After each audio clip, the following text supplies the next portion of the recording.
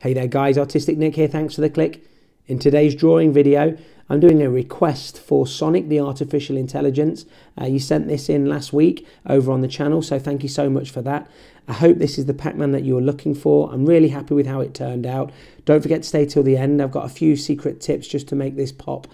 As always, I pencil uh, a freehand sketch in. I used the Caran Dash 2H pencil for this. And then the rest of the drawing was used uh, was done by using my Copic markers. I used a golden yellow for the majority of Pac-Man. And I tried to keep this line free. So what you'll notice with this drawing is after the pencil lines, I didn't go over this with my Faber-Castell Pitt pen. Uh, I wanted to try and keep this as line free as possible the basic shape of Pac-Man uh, is a circle, or in this case, it's a sphere.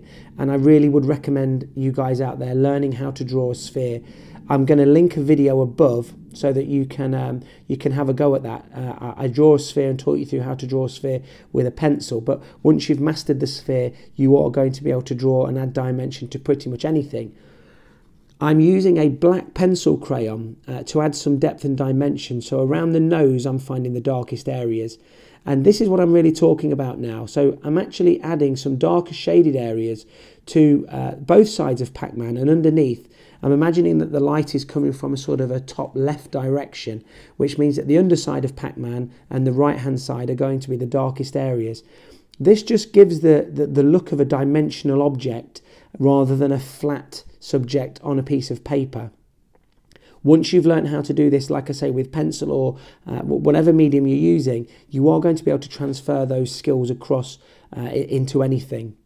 I used a chrome orange for Pac-Man's uh, boxing gloves that he has on.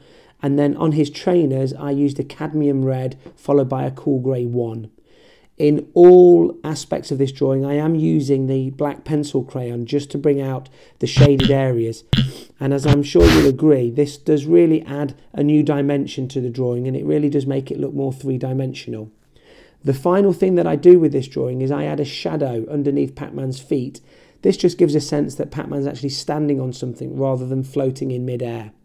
I'm really enjoying these request videos, guys. So if you do have anything that you'd like me to draw, don't forget, send me them down below in the in the comments. Also, don't forget to hook up with me on social media. I'm on Facebook, Instagram, and Twitter, and the links to all of my social media are down below in the descriptions. I'm really enjoying doing the cartoon characters.